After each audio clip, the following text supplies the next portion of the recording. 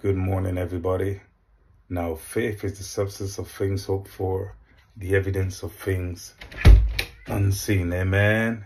Romans 8 31. If God before you, who can be against you? So, whatever you're going through this moment, there are two there are a few voices that is speaking into your circumstance. In John chapter 10, the Bible says, My sheep hear my voice, and a stranger they will not follow. So we need to train our hearts and our ears to hear the voice of the Lord. If you're going through a circumstance and something's telling you you ain't gonna make it, nothing ain't gonna happen for you, you doom, you know that's the voice of the enemy because what what what does the scripture says about your circumstance? Amen. I just read one. If God before you, who what can be against you? Amen.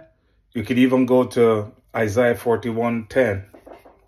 Fear thou not, for I am with thee. Be not dismayed, for I am thy God. I will strengthen thee. Yeah. He would uphold you with his righteous right hand. And there are thousands of Bible verses. I just want to make this short. That's why I'm not reeling through them a bit more. I'm sure you should have knowledge of the Bible. But what God's word what God's word says about your situation is exactly how it is. If God say you are blessed, you are blessed. A storm kicks up in your life doesn't automatically mean that you're cursed. Amen. If you are blessed, you are blessed. If you're the head, you're the head. Amen, somebody. So whatever you're going through this day, I urge you to go into the word of God. Meditate upon it, Joshua 1 8, day and night that you'll make your ways prosperous and you'll have good success. Go into the Word of God and in, ask the Holy Spirit to illuminate His Word, that it will become meaningful and applicable to every area of your life. And the Lord will begin to burn His Word in your heart.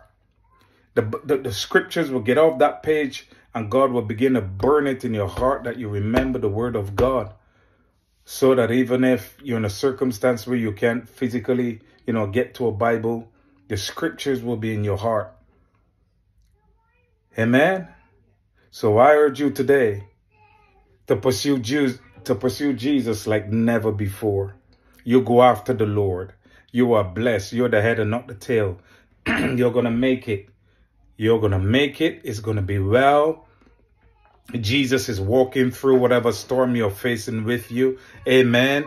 And for those, you know what I mean, whom whom have been coming under some kind of um, strange affliction from from from false prophets, false people. Listen, these people don't operate under the under the spirit of God. Amen. So they have no power. What they do is conjure demonic powers to fight the people of God. They conjure curses. They, they can't do nothing. And what is dangerous for these false prophets is that if they begin to fight the people of God and judgment begins to come on them, and people pray judgment on these false prophets. I, I, are you with me, somebody? So nonetheless, God bless you all indeed. And um, I pray that you have a wonderful day in the Lord Jesus Christ.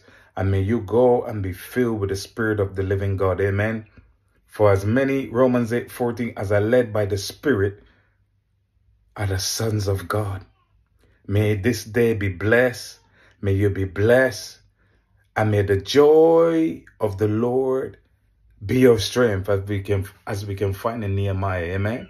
God bless you, everybody. Shalom and love. I'll speak to you soon. But be filled with the Spirit of God. Seek the Lord whilst he may be found. God bless you.